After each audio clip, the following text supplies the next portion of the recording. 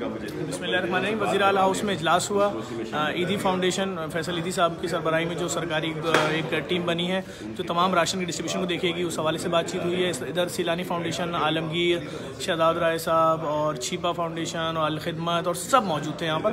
اور بہت اچھا اجلاس ہوا اور میرے خیال میں آج یہ بات ہوئی ہے کہ جس طرح کی آگے مشکلات آنے والی ہیں ان لاکھوں لوگوں کو کھانا کیسے پہنچایا جائے گا اس پہ بہت اچھی حکمت عملی تیار ہوئی ہے۔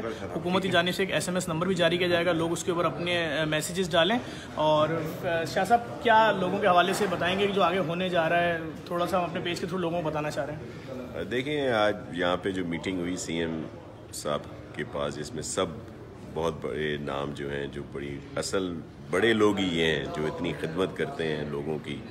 تو ہم بھی ان کے ساتھ مل کر لوگوں کا یہ جو آج کل کرونا والے ایشو پہ جو ایشو ہے، اس پر جو سپورٹ کرنا چاہ رہے ہیں، تو ہم سب مل کر کر رہے ہیں۔ اور اس میں میں ان کو خراج عقیدت پیش کرتا ہوں، خراج تحسین پیش کرتا ہوں ان کے کام پہ۔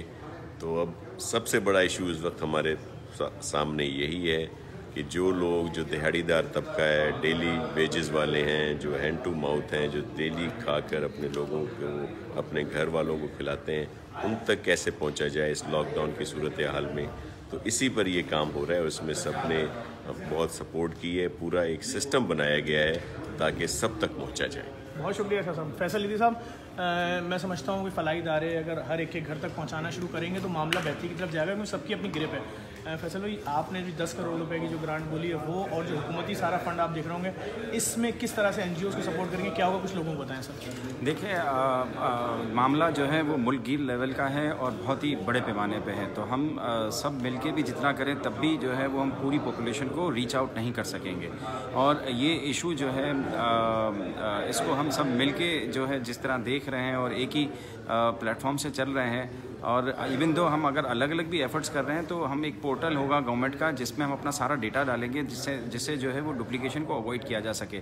آج چیف منسٹر ہاؤس ڈپلیکیشن سے مراد یہ کہ ایک ہی خاندان کو میں بھی دے رہا ہوں ایک ہی خاندان کو جو ہے وہ جے ڈی سی بھی دے رہا ہے ایک ہی خاندان کو چیپا بھی دے رہا ہے ایک ہی خاندان کو الگ دے رہے ہیں تو یہ ڈپلیکیشن ٹرپلیکیشن اوائڈ ہو سکے اور اس ڈیٹا کے ذریعے ہم جو ہے وہ ہیلپ ان لوگوں تک پہنچا سکیں جن کو ضرورت ہے اور بس ڈپلیکیشن اوائڈ ہوگی تو اس سے بھی بہت بہتر ہوگا۔ اچھا میں اپیل کروں گا پوری دنیا میں مقیم پاکستانیوں سے آپ عیدی فاؤنڈیشن پہ بھروسہ کرتے ہیں آنکھ بند کر کے فنڈ دیجیے آپ جے ڈی سی بھروسہ کرتے ہیں آنکھ بند کر کے فنڈ دیجیے ابھی یہ شور بڑھے گا بھوک کا جن بیچاروں کے پاس پیسے نہیں ہیں دو چار دن تو خاموش رہیں گے گزارا کر لیں گے۔ دس پندرہ دن کے بعد مشکل ہے۔ دس پندرہ دن کے بعد اگر خدا نہ خواستہ لاک ڈاؤن لمبا ہوتا ہے تو صورتحال بہت بگڑے گی۔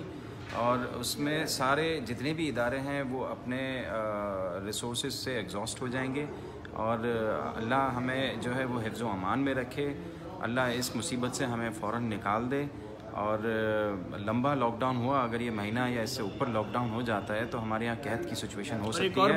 اس میں ایک اور کام گورنمنٹ اگر یہ سچویشن اگر ڈیولپ ہوتی ہے تو فیڈرل گورنمنٹ کو ہم جو ہے وہ نوٹیں چھاپنی چاہیے اور اس ورکنگ کلاس میں تقسیم کرنی چاہیے جو کہ پاکستان میں دیہاتوں کے اندر لوگوں کے پاس راشن ہوتا ہے۔ ان میں کوئی پریشانی نہیں ہوتی۔ شہر بڑے شہر درمیانی شہر کے جو ورکنگ کلاس ہے وہ سب افیکٹ ہوگی۔ اور حکومت وفاقی حکومت اگر انفلیشن ہوتی ہے روپے کی ویلیو گرتی ہے تو اس کو نہیں دیکھنا چاہیے۔ نوٹیں چھاپ کے ہر خاندان تک جو ہے وہ ان کو رقم دینی چاہیے، بھلے تھوڑی سی دو، پانچ ہزار ہی دے دو مہینے کی۔ لیکن دو ضرور، اور یہ فیڈرل گورنمنٹ جو کر سکتی ہے این جی اوز نہیں کر سکتی۔ اور الٹیمیٹلی اگر یہ بہت لمبا ہوتا ہے تو فیڈرل گورنمنٹ کو یہ کرنا ہوگا۔ ایک بار آپ سب سے گزارش کروں گا فیصل عیدی بھائی کے لیے دعا کریں۔ پاکستان کا سرمایہ ہے فیصل بھائی، اور جتنا کام فیصل بھائی کر رہے ہیں، باخدا کوئی بھی نہیں کر رہا، فلاحی ادارے میں چیلنج سے کر رہا۔ ہوں